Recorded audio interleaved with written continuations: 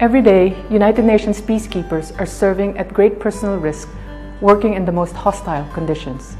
United Nations peacekeepers act with courage and compassion to help bring peace to people and societies living in conflict around the world. This year, we celebrate the 70th anniversary of UN peacekeeping. Many women and men have unfortunately lost their lives while serving under the UN flag. On the occasion of the International Day of UN Peacekeepers, on 29 May, we honor the peacekeepers who have lost their lives while promoting peace. Sadly, some Cambodians are among them. Their sacrifice only strengthens the commitment of the United Nations to protect civilians in dangerous situations and bring peace to where it is needed. Currently, UN peacekeeping operations receive contributions from 124 member states including from Cambodia.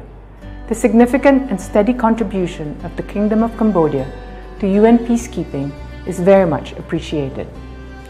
We commend, in particular, the courageous and dedicated Cambodian women and men who have served and are continuing to serve in UN peacekeeping operations.